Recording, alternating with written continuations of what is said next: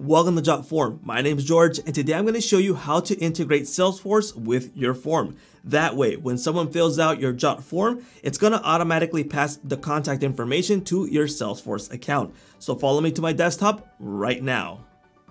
Alright, so here we have a form that's built already, but we haven't yet connected to Salesforce. So let's follow these steps to actually do it. So let's head on over to Settings, Integrations, search for Salesforce, select Salesforce, and right here, what you're gonna have to do is authenticate with your Salesforce account.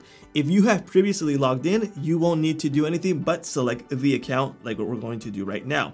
If not, you will have to do the allow process from Salesforce.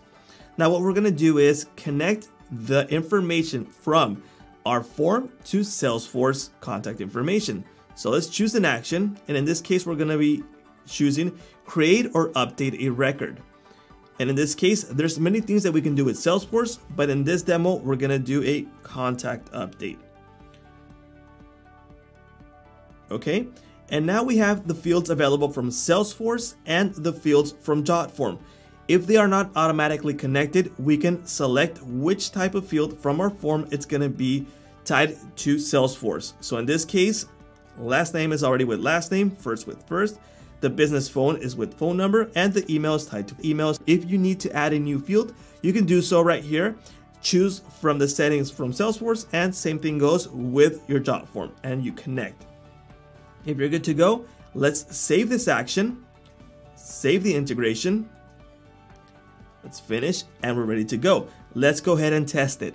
Let's go into publish, open in a new tab, and for testing purposes, let me show you first our Salesforce account where we have three contacts. We're going to add this new one with the test we're going to do right now. So basically you see how easy this actually is. So let's put my name, Jorge Aguilar, and we'll add a fake phone number just for testing purposes. The email. Okay, and we're going to submit it.